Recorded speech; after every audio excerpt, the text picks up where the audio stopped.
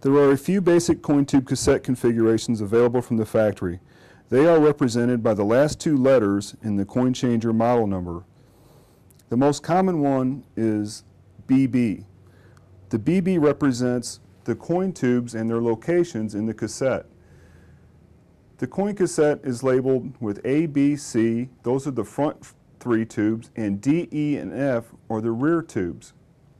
In cassette BB, coin tube A would be a quarter, coin tube B would be a dime, coin tube C is a nickel, and on the back side, coin tube D is a nickel, E is a quarter, and F is a quarter.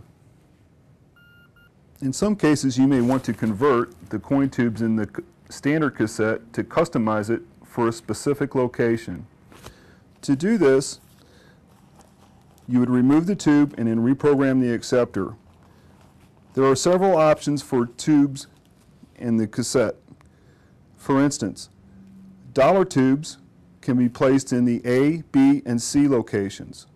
Quarter tubes can be put in all six coin tube locations. Nickel tubes can go in all six coin tube locations, and dime tubes can be placed in A, B, C, or D and E, but not F. A custom cassette configuration is anything other than standard. Okay?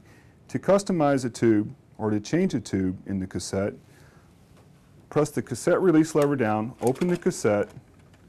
To physically remove the tube, grab the top of the tube, tilt it forward away from the cassette, lift it out, install the new tube by placing it on the hooks in the front, snapping it back in the cassette, and then closing the cassette.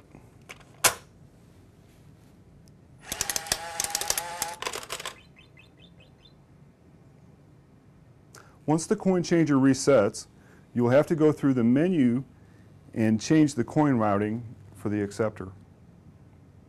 In a custom cassette configuration, once you physically change the coin tube, you have to reprogram the acceptor to route coins to that new tube location. To do that, press the menu button, scroll up to where the display says Setup, press C to enter, then scroll up to where it says Setup, Cassette, press Enter. It'll say Cassette Standard.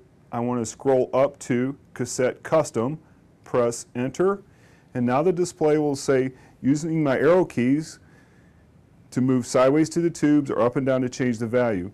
Right now, the A tube is blinking 25 cents. And that's the tube I have in my A location. I changed my C tube, so I want to move sideways using the F button to where I get to the C tube, which now is a nickel tube. The display says it's a 25 cent tube, so I want to change its value using the up or down arrow keys. Scroll up, it says a dollar. Two, when the display has three bars across it, that will disable the tube. I want to scroll up to where it says C, 5 cents, and then enter that. The display will show you updating coin changer, and now it's saving the new coin routing information for that custom cassette. To disable a tube, you want to make sure that the when you're in custom cassette that the value for that tube has three bars across it. In this case, I want to disable my back tubes, the D, E, and F tube. D is blinking, so I want to scroll up to where I have D and three bars across. Move sideways, press the up arrow.